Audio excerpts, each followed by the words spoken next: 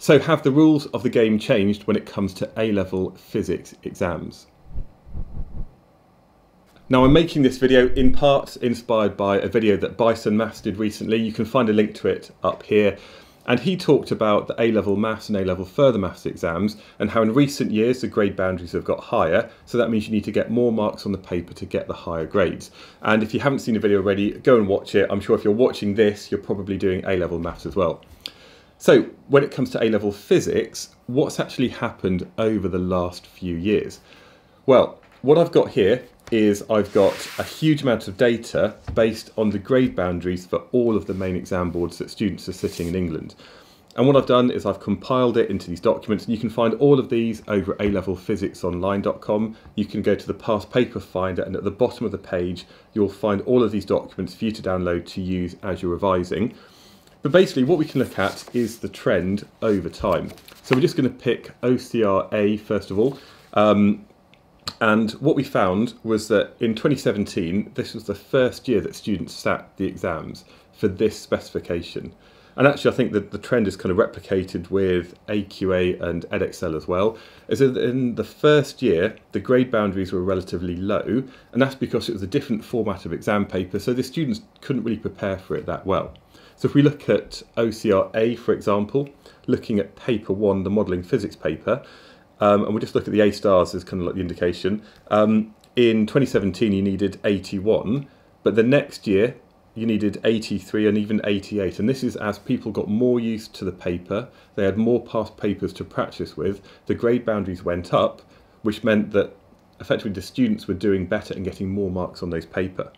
However, 2020 changed everything. This was when COVID happened, the big exams were cancelled, and although there were grade boundaries for 2020, these exams weren't sat in the summer, some of them were sat later in the year, so it wasn't as big a cohort.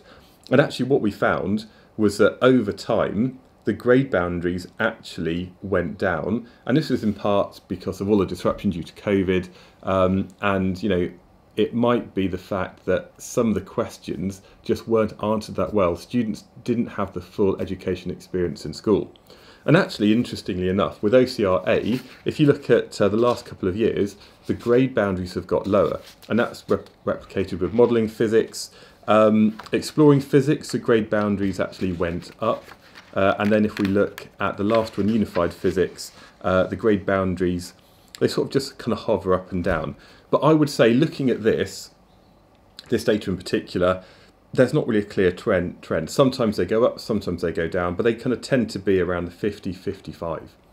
If we look at um, AQA, which I know a lot of you, if you're doing mock exams based on the 2024 papers, you will be crying at the moment in frustration. Um, AQA have had a couple of papers, probably three papers, which were just not well written for students to actually show what they knew.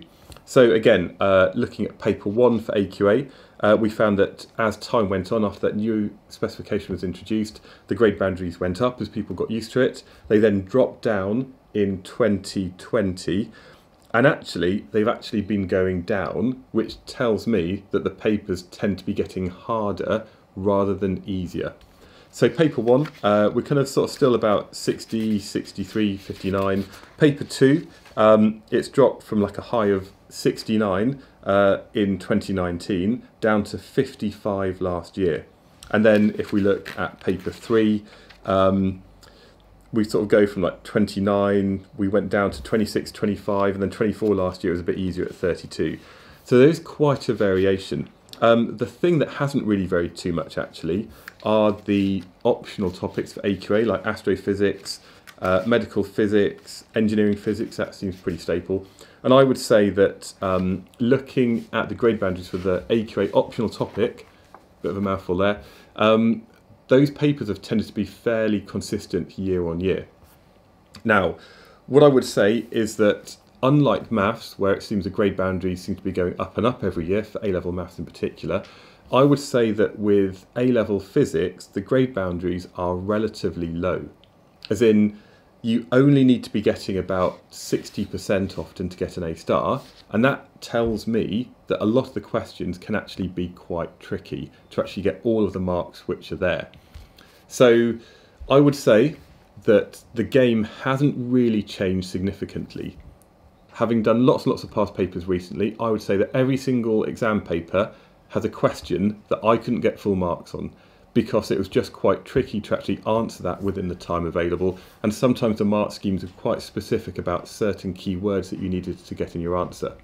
However, the majority of questions I answered, having done lots and lots of past paper questions, were fairly standard. You know, they asked about the same things repeatedly about, you know, how to measure the diameter of a wire, how to time something which was oscillating with simple harmonic motion. There's probably the majority of the questions are standard staple physics, and it's only a couple of exam questions on each paper which are really, really difficult. The thing I would say is that having done all of the different exam board questions, I found that the AQA papers took longer, especially when it came to the multiple choice questions, and therefore you need to be really careful about your time management. And actually, I think I probably preferred the Edexcel questions because they were a lot more straightforward and they seem to be very well set out and actually about quite interesting experiments. So personally, I actually preferred the Edexcel papers compared to the OCR and AQA ones. So, have the rules of the game changed? I don't think they have. I would say that although there will always be some hard questions every year in every single paper, broadly speaking, the papers I've been doing are still fairly similar to what I was doing maybe five, six, seven years ago. And therefore, the thing that you've got to remember is if you want to do well in your exams coming up, don't get worried about questions that you can't do, because there's always going to be questions on every single paper that students find really difficult.